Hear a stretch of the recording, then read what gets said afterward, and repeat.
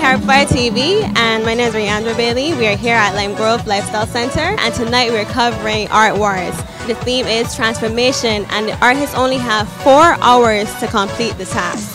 Stay tuned.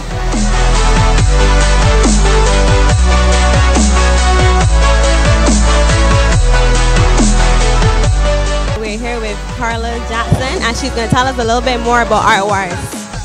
Hi, and welcome to the Art Wars, which is sponsored by Absolut Vodka. Um, just so you understand a little bit about why we've chosen to do the Art Wars, the brand globally has been involved very much in music, art, and fashion. So we've decided to, you know, invest a little bit in the local art community here in Barbados um, and sponsor the Art Wars and, and put and pull this event off. It's one of four events that we will be doing over the next five weeks. And so the first one is here at Limegrove Lifestyle Centre, and we have 10 artists competing to win a grand prize of 5,000 Barbados dollars, basically. Um, so we'll be doing four events, and the next one will be in two weeks. And each time, artists get selected to go forward um, by our panel of judges. But there are certain criteria that they have to meet. Um, they're given a theme for the night, and tonight's theme is transformation, and they will have to explain how they have interpreted that theme um, tonight on their canvases. So, Carla, why the focus on art? So we think that it's a great opportunity to kind of involve the local art community, get them more exposure. We are pretty much giving them every opportunity to sell their pieces, to um, let people know what they can do, and we believe in, in giving the local art community a boost, and that's what we're here doing this evening. And for the next three events, we'll be working on. Well, thank you, Carla, and we'll be back in a second.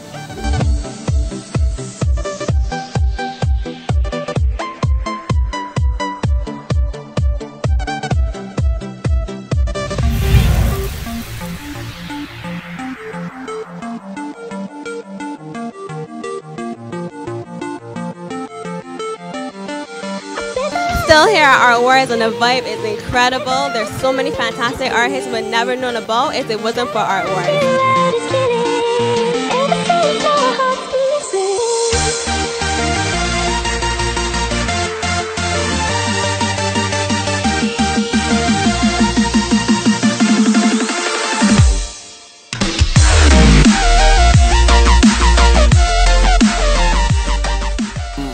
Pieces I've seen this evening are, are interesting in their own way. They have their own definition and they represent something, of course, which the artist is trying to get across to the audience here or whoever's looking at them. But um, there are some pieces that would appeal to me because of um, my philosophy on life and my outlook and, and what I collect and so on. And that particular piece, um, I'm seeing two things going on there, and that's what I like about it. It's um, it's a bottom and a top, and it's in two halves. Um, it, it, is, it is animal and it seems to be vegetable too. It's physical, it's abstract. So there's a lot happening, uh, and the colors are um, complementary. They're, they're, complementary, and they're not too strong. So the the, the, the, the painting itself doesn't like it force itself on you. Okay. It, it draws you.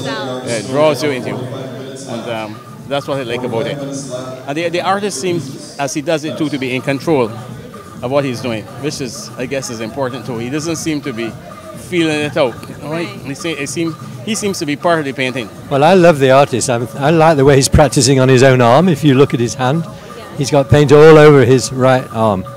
So that's his palette, and that's where he comes from his colours. And it's unusual to have the idea of an underwater and an overwater picture. So that's quite difficult to do, you know, because you know when it gets underwater, all the angles and things change. But I like modern art. I'm very into it. I've been collecting it for 20, 30 years. Wow. So I brought quite a lot of paintings from England because I live here in Barbados, and it's nice to see people can do it. And they're doing it in the time pressure, and everyone's got a smile on their faces here. So they're obviously they're doing it right.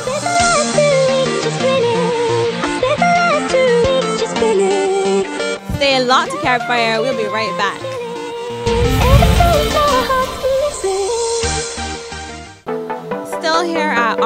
and it's only one more hour left. Let's see how far these artists have gotten.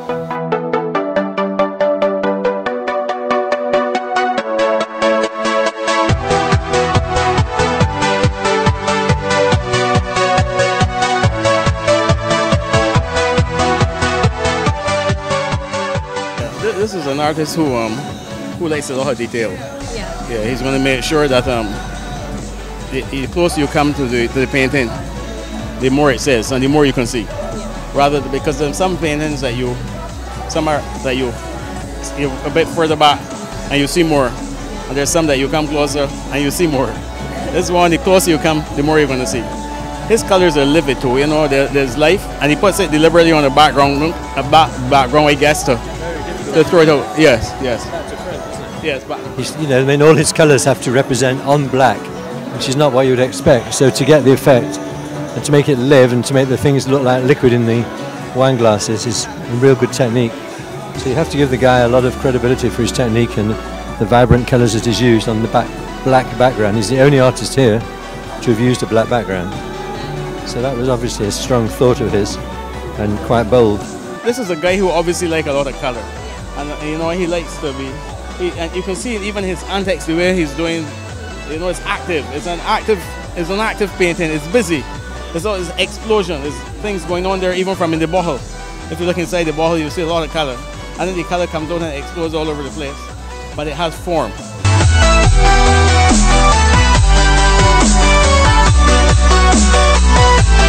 The artists only have two more minutes left. Well, I just wanted to do a normal design, incorporating the Absolut colors, and that's what I did. The theme was transformation, and so I wanted to have a link between the past and the present. So this guy down here was supposed to represent um, kind of like Andy Warhol pop art feeling, the older generation, transferring their knowledge and influences into the younger generation is today 2014.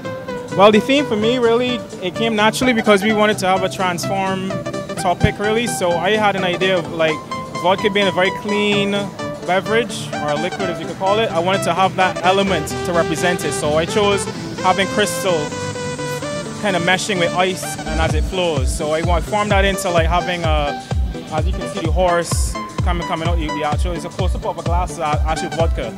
So I'm saying like when you add anything you want to it, say a fruit or a lemon wedge, what comes out, you know, like I'm showing you what comes out, like for me, how I feel about it. So that's how I wanted to transfer that to the viewer. And hopefully did a good job, hopefully, I don't know, we'll see. I, I turned it into transformation of the mind. Um, you know, like there's that part where you're where you're about to transform, you're just like in that sensual, that that calm place, like that awakening. That's the first phase does. The second phase now describes the the confusion. Do I want to transform? Is this what I want to do? Is this good? Should I? Should I not? Then the third phase is that phase where you are in the transformation. You just, you know, you're just you're just frozen in that in that point right there. And then the last part is, you know, all the the pain, the confusion, the anxiety, the happiness, all that confusion wrapped up in a ball in the last phase. Um, it's called Weld in the Mix. Um, the theme we were given was transformation. Um, right now we just have the movement from the bottle and the splashes transform into, into different animal forms. We've got hummingbirds over here and the elephant and the lion.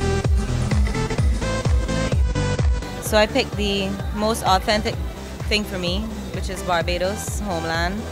And the transformation is just basically simplicity, which is their whole theme is just simplicity. So it's basically night from night into day, the night sky transitioning into the day, and then the day transitioning into the water.